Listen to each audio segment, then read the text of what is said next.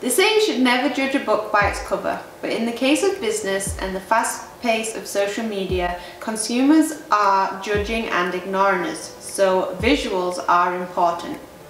So let's chat about where we can be seen and how we can make the biggest impact.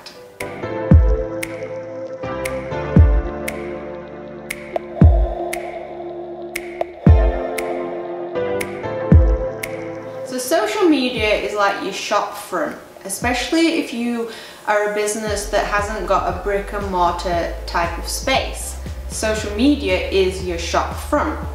You have to make it pretty and appealing and it's really easy to do that on Instagram by creating a specific Instagram grid so that when people come across your page they're going to see something that they really like and that really stands out to them. If you do have your own space, whether it's an office or a shop front, you have to make it look inviting and welcoming and pretty.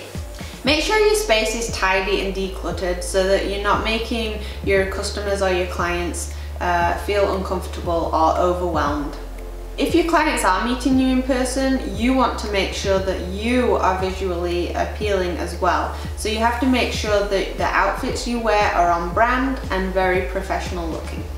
If you're doing your SEO well, then people are going to come across you on Google. And that's what we want in business.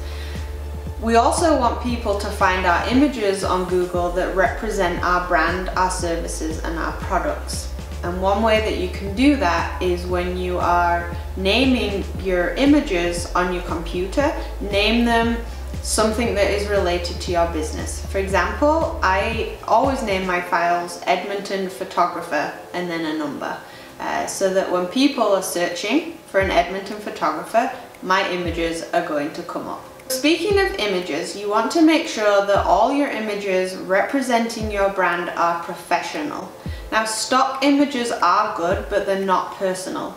And that's another thing, make sure that your images are personal because you want to be able to tell a story with your images. People are just not reading text anymore.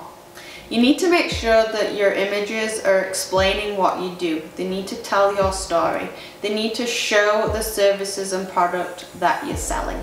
Videos are even more eye-catching than images actually.